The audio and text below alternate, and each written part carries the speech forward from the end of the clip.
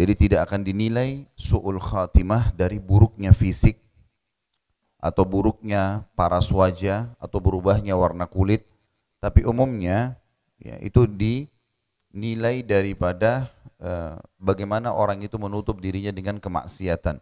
Baru dianggap dia buruk, su'ul khatimah.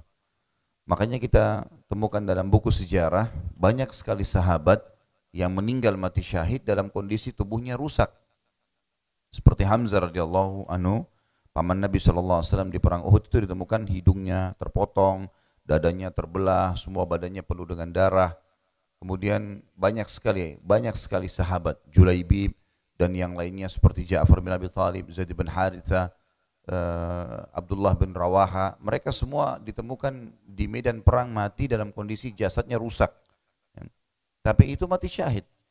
Jadi tolok ukurnya bukan karena rusaknya fisik. Makanya mungkin ada orang hafid Quran, terjadi kebakaran dia mati terbakar. Baik bukan berarti dia buruk. Atau orang naik pesawat ahli ibadah, kemudian meledak pesawatnya. Atau di kapal laut tenggelam, lalu dimakan ikan misalnya badannya.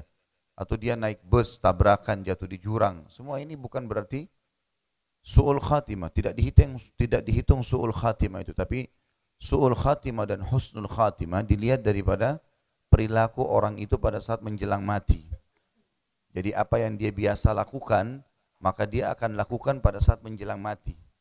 Misal seseorang di antara kita yang paling senang dia lakukan dalam ibadah, misal baca Quran, atau sholat tahajud, atau berdakwah, atau apalah ya.